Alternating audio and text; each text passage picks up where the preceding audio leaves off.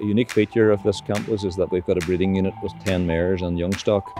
This is unrivaled across the UK and Ireland because it gives students a hands-on experience working with the animals. Breeding is a passion, to be honest, and our students really do have a passion for it. Up in the breeding yard, you know, you get to watch horses interact. You watch mare and foal interact and you just get to see the natural processes. Up here in the breeding yard, the students do an awful lot of hands-on work from foaling down to handling the brood mares to handling the newborn foals to handling weanlings, getting them ready for sales. And actually, the honours degree second years run this yard and are involved in many of the decisions that are made.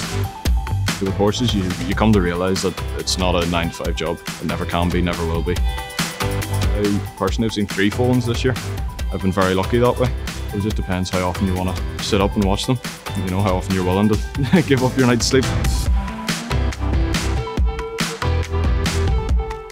Island of Ireland is the third largest producer of thoroughbred foals in the world and therefore there is lots of job opportunities out there.